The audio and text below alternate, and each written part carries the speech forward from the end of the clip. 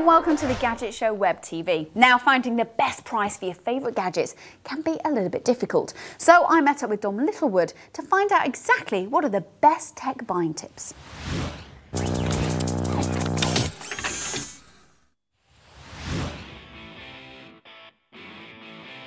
I'll tell you what nobody thinks of is when you look on an internet site, people think you've just got to pay the price. You haven't. Find the site, find the camera, Okay. find the contact us button, and get a phone number for them. Then ring them up and say, hello there, I like the camera, ABCX123, whatever it is.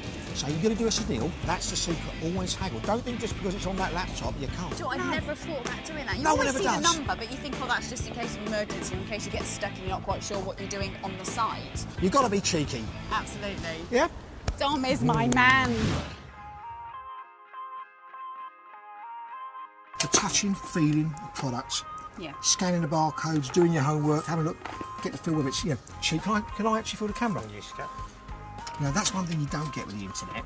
No doubt we can have a little deal with that, can we? We'll try. Yeah, see, I like that. Straight away, so we can have a try. Right. which is good. Now, if the price is right, mm-hmm. we will buy this today. Okay, we're not window shop. We're not wasting your time, but it's got to be below two hundred. Cannot do that. Who's the governor. Cam? Are you the Are you the boss here? I'm in charge for these. Okay, who can give us a better deal if you're not going to do it? Nobody. What about the big boss? Nope. Are you the big boss? Nope. Are you the biggest boss as far as this goes? Nope. But people in shops like this, they don't mind the good old-fashioned bartering. You just got to make sure it's fun. Ask a bit off, be a bit cheeky. They don't mind. They love it.